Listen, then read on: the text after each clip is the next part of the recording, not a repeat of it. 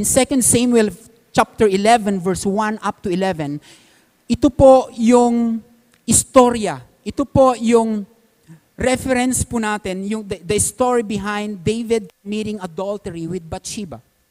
Makikita natin dito, and I want to read to you a few of it so that we can go it through para maibigay ko yung background sa inyo kung paano ginawa ni David itong kalokohan nito. At the very onset of his life, nasa kanyang Panginoon, tamang kanyang puso, ang Panginoon ay nasa kanya. Ang presensya ng Diyos nasa kanya. How come he can do these things? Karumal-dumal sa mata ng Diyos. So to speak. In 2 Samuel, in chapter 11, in verses 1 up to 4, it reads, In the spring at the time when King kings go off to war, David sent Joab out of his out with the king's men and the whole Israel army. They destroyed the Ammonites and besieged Rabbah, but David remained in Jerusalem. Supposed to be na si David ay pupunta doon sa war together with his army. Nag-relax siya doon sa Jerusalem. Nag-relax siya, do, nag-relax siya doon sa kanyang palace. And this is what had happened. One evening, isang gabi, he got up in his bed and walked around the roof. Pumunta siya sa rooftop ng kanyang palace. From the roof, he saw a woman bathing. Okay? The woman was very beautiful, and David say, said, someone to find, about, find out about her. The, ma- the man said, Isn't this Bathsheba, the daughter of Eliam, the wife of Uriah, the Hittites? Then David sent messengers to get her. She came to him, and he slept with her. She had purified herself from her uncleanness. Then she went back home. The woman conceived and sent words to David, saying, I am preggy. Sabi ni Bathsheba, I am pregnant. Buntis ako, Haring David. David this time, isa na siyang hari. After the injustices of King Saul, vinindicate siya ng ating Panginoon. Ngayon, siya na ang hari ng Israel. This time, supposed to be nandun siya sa war. Pero nagre-relax siya doon sa rooftop ng kanyang palace. Supposed to be a king, supposed to be a king, he was on the battleground fighting with his army. How come relaxing this time? Hindi lang yon, hindi lang nagre-relax, hindi lang mayroong iced tea, nagpiping tom pa siya. Voyeurism. And to cut the story short, nabihag siya ng kanyang damdamin, nagkaroon siya ng last. Kinuha niya si Bathsheba with all his power. Nagkaroon sila ng anak. And to remove Uriah, the, the, the, the husband of, of Bathsheba, to remove Uzziah, um, um, anong pangalan niya? Uriah into the scene, sinabi niya sa kanyang, sa kanyang kawal, ilagay niyo sa si Uriah doon sa front line ng battle. To cut the story short, namatay po si Uriah. Two evil things he committed, adultery and murder. How come? David experienced the justice of God. Now he himself giving injustice to his man Uriah. Not only to, the, to Uriah, but all throughout his family and even his nation. How come a man who experienced God's justice now practicing injustice? How come a man, a man after God's own heart, now committing adultery and murder? How come a man of success now became a man of failure? Second Samuel chapter 12, the next chapter in verses 1 up to 25 in your reference. And here is a scene. Coming in, it is Prophet Nathan. Pumunta si Prophet Nathan. He came to the scene And I want to read to you in, in, in verse 7 to 12, but before that, in verse, in verse 1 up to 6, Prophet Nathan created a story. Nag-create siya ng story. Sabi niya, may isang taong, isang isang tao, dalawang tao, yung isa napakayaman niya, yung isa pobre siya, yung mayaman nasa kanya lahat ng cattle at ng sheep, ang dami niyang pag-aari-arian, ang dami niyang mga, mga cattle. But there is one man, isa lang ang kanyang lamb. It's a ewe lamb, batang, batang lamb pa yan. At inalagaan niya yan, as in parang anak niya. Pagkatapos may dumating na mama asking for help, yung mayaman na tao, kinuha pa niya yung nag-iisa, ayaw niyang ibigay, ayaw niyang magbigay. Sabi niya, kinuha niya. It's an injustice. Anong nalaman ni David? Bakit? Sino yung mama? Galit na galit si David. Sino yung mamang yan? Umentrada ngayon si Nathan and here's the whole story. In, in, in verse 7 of chapter 12, then Nathan said to David, You are that man. Si kadayta nga tao, kinunana Si Kadaita David, you made injustice to your people. You are the man. This is what the Lord, the God of Israel says. I anointed you king over Israel, and I delivered you from the hand of Saul. I gave your master house to you, and your master wives into your, into your arms. I gave you the house of Israel and Judah. And if all his this had been too little, I would have been give even more to you. Sabi niya, intad ko amin kanyamon. And I can give you more. Why can you do that to that single man? And here, why did you despise the word of the Lord by doing what is evil in his eyes? You struck down Uriah the Hittite with the sword and took his wife to be your own. You killed him with the sword of the Ammonites. Now, therefore, the sword shall never depart from your house, because you despised me and took the wife of Uriah the Hittite to be your own. David, a man after God's own heart, now became a man of failure. First, first failure is that he was a failure as a husband failure sa husband. Hindi siya makontento sa isang babae. Hindi siya makontento sa isang asawa. He was a failure being a husband. Secondly, he was a failure being a father. Because of the sin he had committed, ang repercussion nito, mga kapatid, grabe, ang tindi po ang nangyari sa kanyang pamilya. As what Nathan said, as Nathan confronted him, he failed to discipline his children.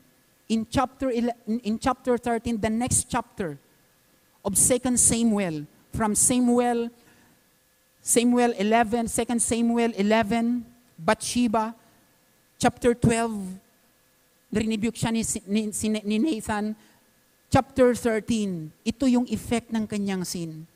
A failure He was a failure as a father. Failure niyang mga kanyang mga anak, si Amnon. Ang kanyang anak, renape niya ang kanyang kapatid na si Tamar. At hindi lang yon.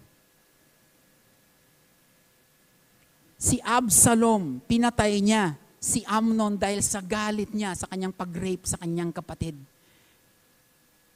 Amazing. David was a successful leader in his community, but a failure leader in his own family. Far be it from us, brothers and sisters, as husbands, as a leader of our family, pwede tayong maging leader ng nasyon, leader ng komunidad, leader ng isang organisasyon.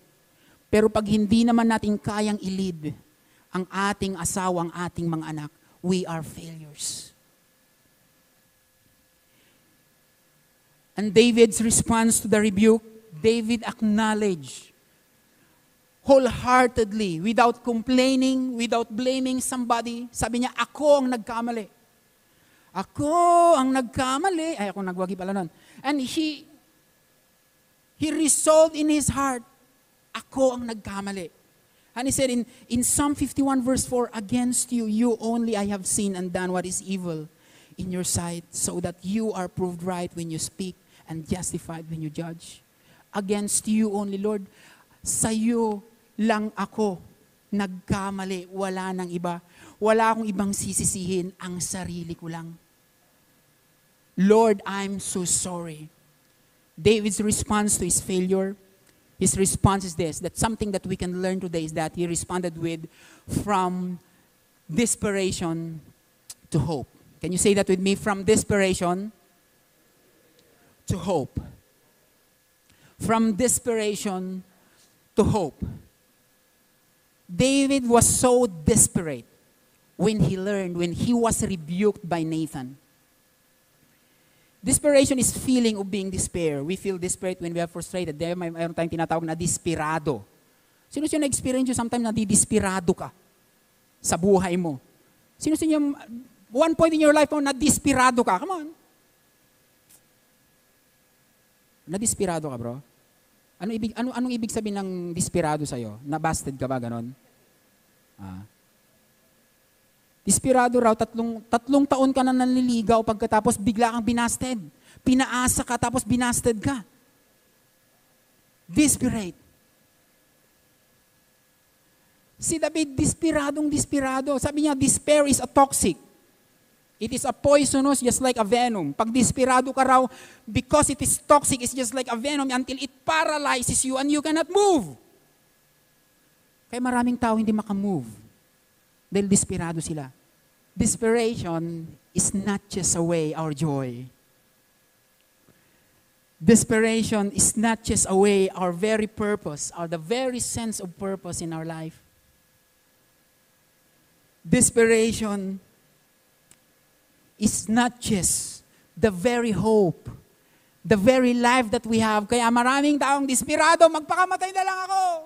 Tapusin ko na lang tong buhay na to. But for David, it's something different. He was so desperate dahil he was rebuked by Nathan and he realized he sinned against God. And David feels that desperation in Psalm 51, verse 11, what we've read a while ago. Do not cast me from your presence or take your Holy Spirit from me.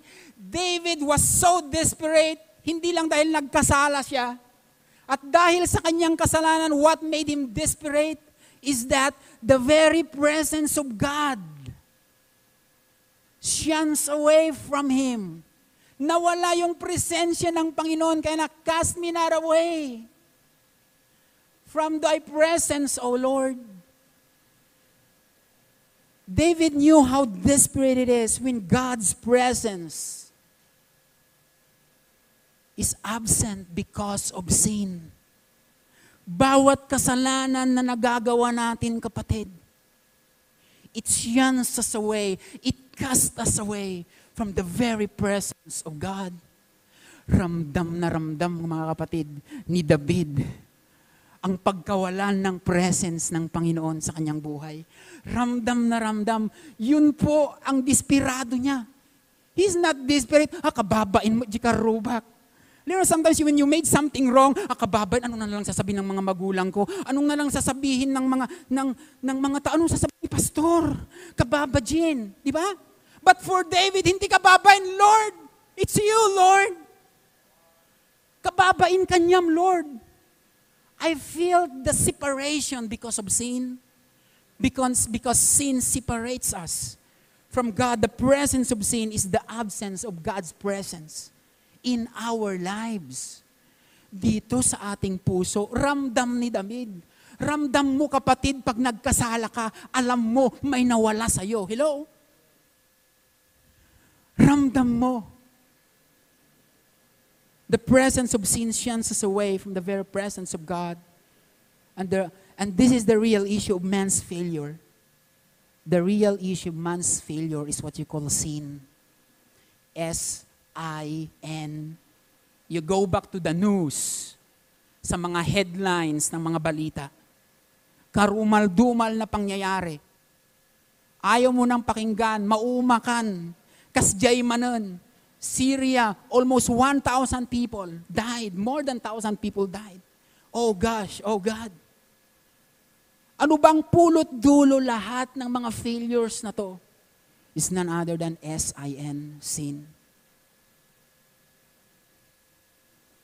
The fall of a man was originated in Genesis chapter 3 when Adam and Eve get away from the authority, from the command and authority of God. Umalis sila sa umbrella ng Panginoon, sa kanyang command. Nagrebelde sila sa Panginoon. What had happened? They had been kicked out from the garden. They had been kicked out from the very presence of God. Not only that, they had been kicked out from the very blessings of God. Ang masama kapatid, pag nagkasala po tayo, hindi lang nawawala yung presence ni God. Even no matter how tried you want to be successful in life, bakit apeta nagrigat tibiyag? Until now, hindi pa rin ako successful. Kayod ka ng kayod, but wala pa rin kwarta, wala pa rin pera. And life is so difficult for you. After man's fall, man is desperate, search for an answer in life's pain, sufferings, and failure. Sin is the issue because sin is the very root of man's failure. Sin also is the very signs and symptoms of every failure that we have. Kung may kasalanan, baka sinyalis na yan. Bumalik ka na sa Panginoon kapatid or else you will go and lead you to your failure. And God is knocking on the door of our hearts. Just like David, he responded so quickly. Nowadays, ang mga sin po, sometimes we viewed it as psychological or or medical issues. Alam mo yung ganon? Ang mga kasalanan, sometimes parang, it's a, it's a medical issue or it's a psychological problem.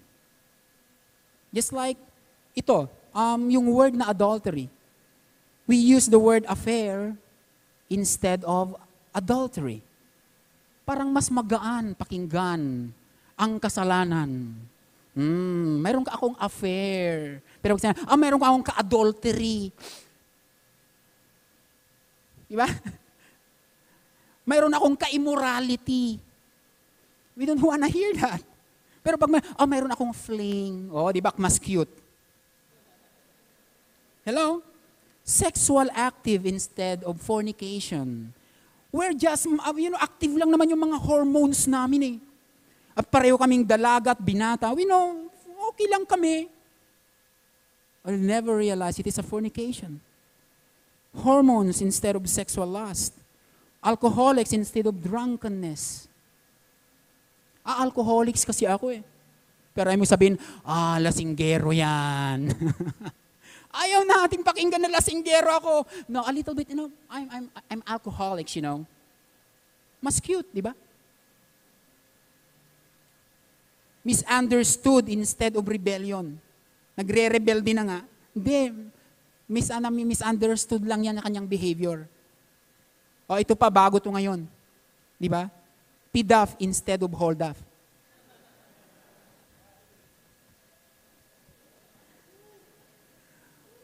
We tend to sugarcoat sin. We tend to lighten sin. We don't want to see or feel the gravity of a sin. We sugarcoat everything. Mahilig tayo dito sa Pinoy. Baha na nga, pero mo, pinagkakatawaan, nagiging patwa pa, nasa bahan na nga, pero alam mo ganon, masayahin pa rin sila. And we try everything just like that. Di ba? Pag mahirap ka, sasabihin, ah, may galis ka. Pero pag mayaman, ay, allergy yan, allergy. Ah, daangkit mo. Ngam numayaman ka. Asthma yan, asthma. Hello? Ano ba? Kurad da ita, kurad. kurad da ita. No, it's a viral infection, you know. O ba? See, we try to sugarcoat everything.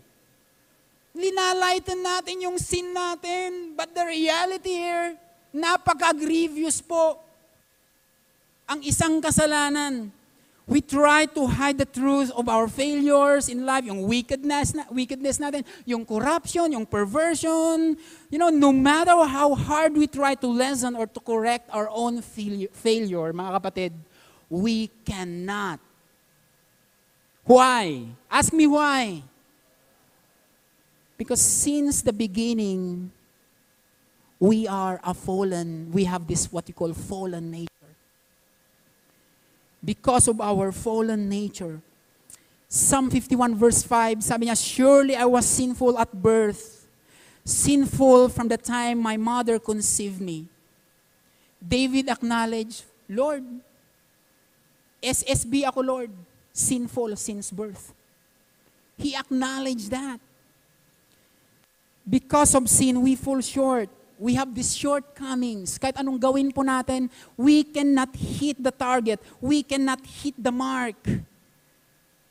We fail to meet God's standards because of sin. We fail to meet God's standard. We've missed the mark, for all have sinned and fall short of the glory of God.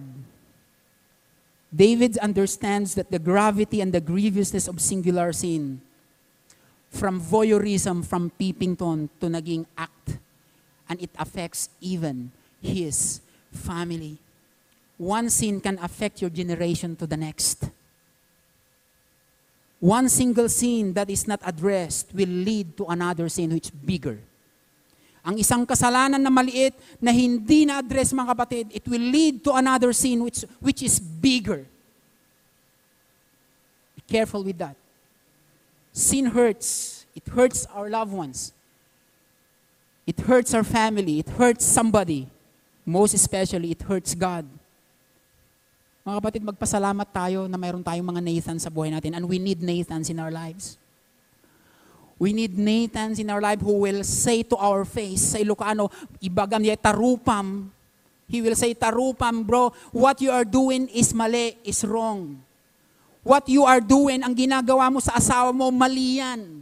And we need somebody who would speak to us. A Nathan in our lives to correct us or to rebuke us. And in times of desperation, David acknowledged his sin. In times of failure, we may feel this desperation. But we allow the process of desperation to acknowledge any kind of sin in us. May failure tayo ngayon. Let us be desperate for a moment, but let us allow that process. I-contemplate natin, Lord, is there any amount of sin in my heart? Lord, adati pinagbasulak aya. Lord, anya tinaramid ko nga madi. The saddest thing that will happen is that ang dami mo nang failure sa buhay mo, ayaw mo pang aminin na ikaw ay makasalanan. Ang dami nang failure na nangyayari sa buhay mo, hindi mo pa rin kayang aminin na ang punot dulo ng problemang yan ay walang iba kundi ikaw rin, kasalanan. True desperation is realizing that we are broken away from God because of our sin and recognizing our need before God for forgiveness. Yan po, ang tunay na desperasyon po. We acknowledge that God, I need you, Lord. I need your forgiveness. I need your mercy and I need your grace. Lord, I need you, Lord. In times of desperation, David connected to God. He worshiped God. Nag-worship ka kay, siya kay Lord, pleading for mercy and grace. That's why Psalm 51 had been written. Nasulat ang Psalm 51 And when David wa- had been connected to God through worship, then David can hope again. David can, ho- can hope again from desperation to hope. When you connect your hearts to God in times of failure, then you can hope again in the Lord. In Psalm 51, verse 12, restore to me the joy of your salvation and grant me a willing spirit to sustain me. David's hope is restoration. The restoration that David wants is the restoration of his relationship with God. Restore to me the joy of your salvation. Lord, yung presensya mo. Lord, yung presence mo, Lord, yung relationship natin, gustong ma-restore ng, ng, ni David ay yung relasyon niya sa kanyang Diyos na alam niya dahil sa kanyang kasalanan, napahiwalay siya sa kanyang Panginoon. How many times in our failures in life, we want restoration. Lord, restore my family. Restore my career. Lord, restore my finances. Restore this thing. Restore my ministry. Ang dami na, restore my, this, restore my relationship with my wife, with my husband, with my kids. But have we Ask God, Lord, restore my relationship with you. Dahil simulat sa pool ng failure na to, Lord, ang failure, ang dapat i-restore ay yung relationship ko sa iyo. Hindi yung reputasyon ko, hindi yung honor, yung dignidad. Pag nauna ang presensya ni Lord, the dignity, the honor, the reputation will just follow. Your family will just follow. Your finances will just follow. The joy of your salvation sabi niya, willing spirit, David hopes is the restoration of the Holy Spirit. Holy Spirit is a person. David understood that the Holy Spirit had been grieved. Nagtatampo ang banal na spirito. Every time na nagkakasala tayo, nagtatampo, gumura, kakabsat. Gumura di presensya ni Apo every time we committed sin. And that is the hope of David. Lord, bring back to me that Holy Spirit, and to restore back that willing spirit is to have a willing heart. Lord, my heart is willing to be restored. Kaya nagrepent siya. Kaya makita natin doon in Psalm 51 verse 17, the sacrifices of God are a broken spirit, a broken and a contrite heart. Ano ibig sabihin ng contrite? Contrite heart is apologetic heart, remorseful, sorrowful heart, mapagpakumbabang puso, puso na nagsusori. Anong kabaliktaran ng contrite heart? Concrete heart. Matigas na puso. Nagkaka-failure na ang buhay, ayaw pa rin palambutin ang puso. Pero kay David, inamin niya, Lord, it is my heart. Lord, it is my heart. Restoration comes after repentance. God restores a heart that is humble, broken, and a contrite before Him. Rine-restore mga kapatid, na puso ng Panginoon ay yung pusong inaamin, makasalanan ako. Hindi ako malinis. Failure ako. Pero kung matigas ang ating puso, ah, okay ako. Okay, wala problema, wala. Eh, wala ring babaguhin ng Panginoon. David is a man who is quick to repent. Let us be like him, mga kapatid, brothers and sisters. Let us be quick to repent. In Psalm 51 verse 10, Create in me a pure heart, O God, and renew a steadfast spirit within me. David's hope of restoration is having a new heart with God again. Having a new spirit with God. A life that you have to start all over again. He knew that God is willing and able to forgive and cleanse him once again. That's why in Psalm 51, verses 1 up to 3, it is the very repentant heart of David. Have mercy on me, O God, according to your unfailing love, according to your great compassion, blot out my transgression. Wash all my iniquities and cleanse me from my sin. For I know my transgression and my sin is always before me. Lord, I'm sorry. I'm here right now. If there is repentance, there is restoration. That is the very hope of David. And when he repent, when he humbles down to the Lord, he's connecting his heart to God. What he can find is that when he worship God, he will know God more. Kilala niya at makikilala pa niya kung sino ang kanyang Diyos. In times of failure, mga kapatid, anong ginagawa natin? Tumatakbo ba tayo? Nagigilty tayo, ayaw nating lumapit sa Panginoon? Or in our desperation, mag-contemplate tayo ano yung mga kasalanan natin, lalapit tayo sa Kanya. When we go into God, we will find grace and mercy. Kilala, niya, kilala ni David kung sino ang kanyang Diyos. Itong masarap pag worshiper ka. Pag worshiper, worshiper ka, close ka kay God. Pag worshiper ka, kilala mo kung sino ang yung, ang yung Ama. Ang Diyos ay hindi pupunta pag nag-worship ka kay Lord, hindi siya nakaganito, hmm, anya man ang tinaramid mon. But David knew his God. When he worshiped God, he knew God is a gracious God. God is a merciful God. God is a loving God. And in times of failure, David found mercy and grace. His heart had been cleansed by God. He had been forgiven and his life is new again.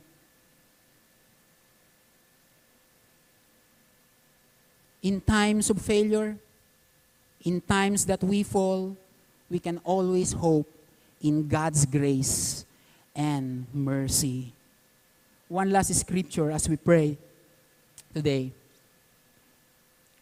In Titus 3, verse 3 up to 7, it reads, One time we too were foolish, disobedient, deceived, and enslaved by all kinds of passions and pleasures. We lived in malice and envy, being hated and hating one another. But, everybody say, but. But, when the kindness and love of God, our Savior, appears. That's one good thing about when we are, when we fall, when we are failure in our lives, and we respond right with our hearts, the kindness and the love of God will appear. It continues. He saved us not because of righteous things we have done, but because of His mercy. He saved us through the washing of rebirth and renewal by the Holy Spirit, whom He poured out on us generous, generously through Jesus Christ our Savior, so that having been justified by His grace, we might become heirs, having the hope of eternal life. In times of failure, God reveals His kindness. In times of failure, when we worship Him and connect our hearts to Him through our songs, God can reveal His love. God can reveal Himself that He's a forgiving God. God can reveal Himself that He can give back the Holy Spirit that washes us just like a water. God can restore us as in, as if bagong-bago ulit tayo. Amen. In times of failure, we can find God's grace and mercy. In times of failure, we can see God's greatness. More than a song, we can worship God in times of failure.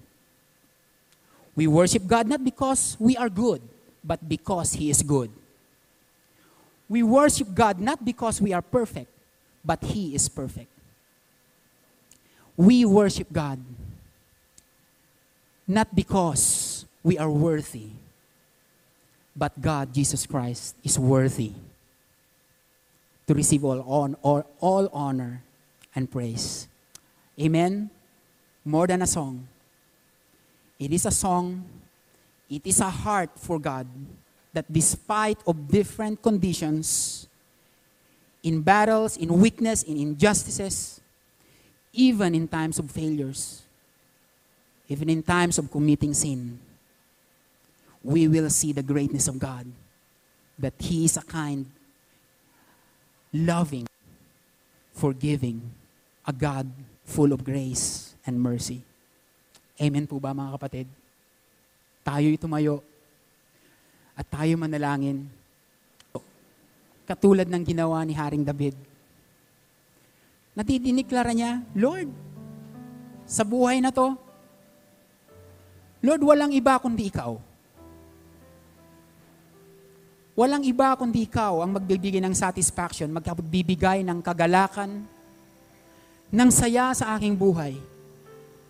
Kundi Panginoon, ikaw lamang. Kaya sabi na David, cast me not away from my presence, from your presence. Today, as we pray, no matter what situation we are facing right here, right now, i-search natin yung mga puso natin. As I'm sharing this message today, some of you in your heart, God is speaking, giving conviction in our hearts to say, Lord, I'm so sorry from all of my sin. Malaking kasalanan, maliit na kasalanan. Para sa mga tao ng Diyos, kasalanan pa rin yan. At kailangan nating magpakumbaba. Katulad ni David, quick to repent and say, God, my heart is right here right now. Lord, forgive me, cleanse me. Restore me once again. Shall we pray? Heavenly Father, we thank you. Panginoong Diyos, Maraming salamat.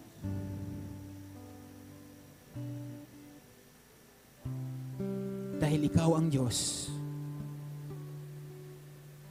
na nagmamahal.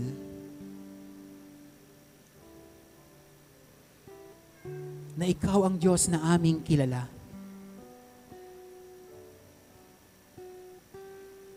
Na kung anuman, Panginoon, ang nagawa naming kasalanan, na ikaw ang Diyos.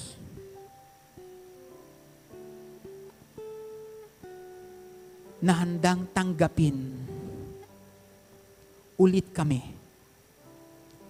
na ikaw ang Diyos na handang patawarin, na handang linisin, at handang bigyan ng bagong buhay. Katulad, Panginoon, ng awit ni Haring David. Cast me not away from thy presence, O God. Lord, I need your presence now. Yung joy ng aming salvation. From the very first day, Panginoon, na nakilala ka namin, yung init ng aming pagkakilala ng aming pagmamahal sa iyo, yung alab ng aming puso para magsamba sa iyo, Lord, ibalik mo muli. Lord, anuman ang aming nagawang kasalanan, anuman ang aming nagawang pagkakamali, i-reveal mo sa amin, Panginoon. Tulungan mo po kami na siya sa atin, i-search, i-check ang aming mga puso. So that katulad ni David, Lord, we will move in desperation. And in our desperation, we will find hope in you. So that we could see your greatness. We could see, Lord, in our problems. We could see you, Lord, in our lives, in, Lord, in our weaknesses, in our injustices, in our failures, in our condition as a sinner. Since birth, simulat sa pool, Panginoon, makasalanan na ako. Ang dami kong kasalanan, Panginoon. Hindi ko pinagkakaila yun, Lord. Katulad ni Haring David, Panginoon. Linisin mo po kami at handa mo kaming umawit para sa iyo. Kumonekta para sa iyo. Let's worship the Lord today. Why not connect to the Lord? Whatever the condition of your heart today. Maybe mayroong kasalanan or may, the Lord is saying there's a failure or you committed sin against the Lord. And God is showing to you something.